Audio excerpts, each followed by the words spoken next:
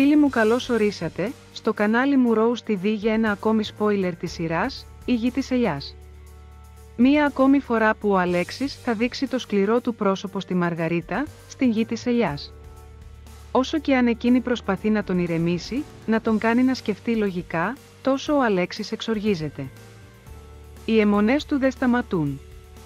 Βλέπει διαρκώς μπροστά του την Μυρτάλη, βιώνει έναν έρωτα ανεξέλεγκτο που τον οθείς στα άκρα. Η Μαργαρίτα του ζητάει να είναι διαρκώς μαζί, για να μπορεί να τον παρακολουθεί.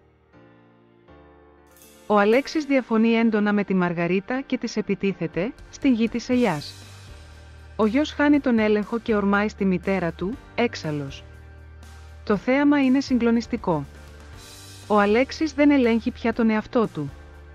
Η Μαργαρίτα βυθίζεται καθημερινά στη θλίψη.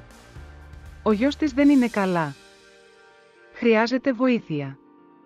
Μετά την απόπειρα αυτοκτονίας, τίποτα δεν είναι το ίδιο. Τη στιγμή που προσπαθεί να τον ηρεμήσει, μία τσάντα γεμάτη χρήματα εντοπίζεται έξω από την πόρτα τους. Ο Αλέξης θέλει να κρατήσει αυτά τα λεφτά. Η Μαργαρίτα διαφωνεί.